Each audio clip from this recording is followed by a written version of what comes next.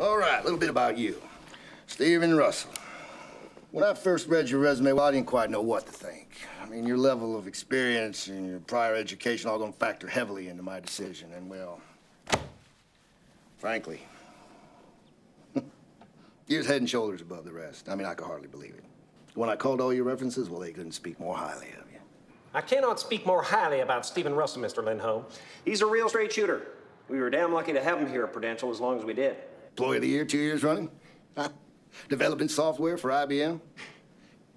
You, you're the kind of person we need here, Steven. We want you. We want you to be our chief financial officer.